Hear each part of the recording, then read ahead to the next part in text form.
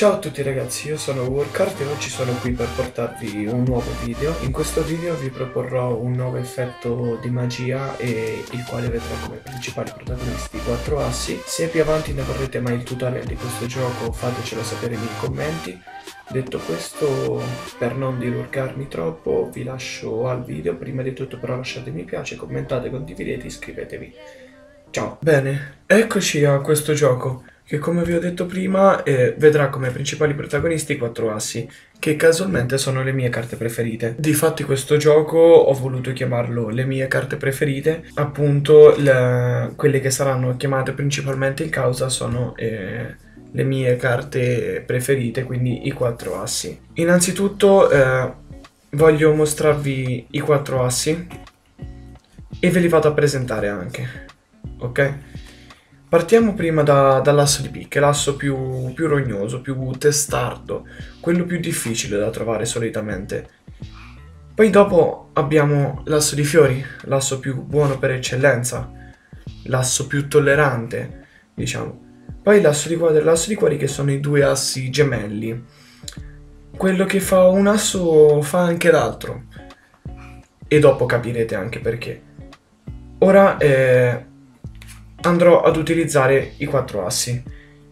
Con i quattro assi innanzitutto vi vado a mostrare che sono ovviamente tutti di dorso, compreso anche l'asso di quadri che eh, era di dorso e lo metto in fondo per semplicità. Così. Ora mi basta solamente schioccare le dita e il primo tra i quattro assi si gira a faccia in su. Ok? Passo le carte sotto la mano e il primo asso, l'asso di fiori, si gira a faccia in su. Ora tenterò di fare questo, di fare lo stesso procedimento con, con tutti gli altri tre assi, quindi asso di cuori, quadri e picche, giusto?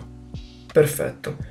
Nuovamente schiocco le dita, passo le carte sotto la mano e si gira il secondo asso. L'asso di cuori.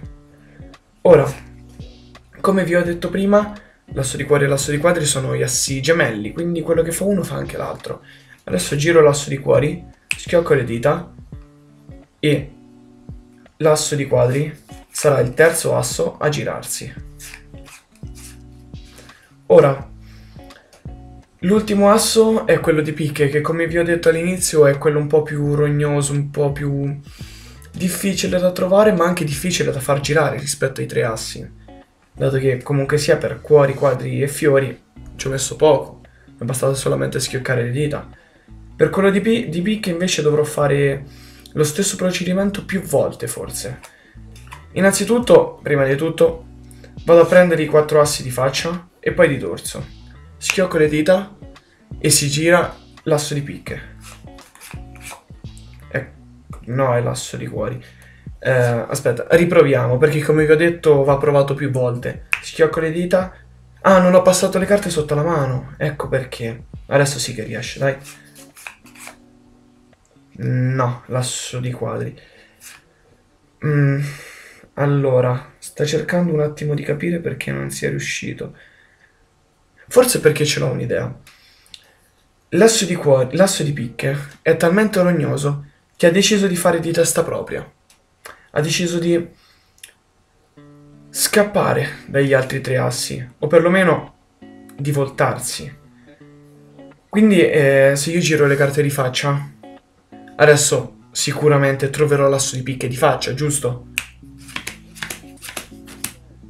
Mm, no, anche questa volta non, non si è voluto girare. E ce l'ha con me, ragazzi, non, non ci posso fare niente. Però posso provare Aspetta, ce l'ho, ce l'ho, ce l'ho. Sapete perché non si è girato? Perché l'asso di cuori è tangibile, toccabile e visibile, sia di faccia che di dorso. L'asso di fiori, uguale, tangibile e visibile. L'asso di quadri, la stessa cosa dei due assi precedenti. L'ultimo asso, l'unico che è solamente tangibile ma non è visibile, è esattamente l'asso di picche, che è scomparso. La sua anima è ancora qui, ma come potete vedere non si può più vedere la figura, quindi non si può più vedere il picche qua, là, le due A, i due simboli di picche. Ora proverò a fare una cosa. Proverò a ritrovare l'asso di picche in una maniera molto molto molto strana. Prendo la sua anima e la passo in mezzo al mazzo. Quindi ora schioccando le dita, dato che l'ho passata di dorso, in mezzo al mazzo ci sarà una carta di dorso. E la carta di dorso è esattamente la sorpresa.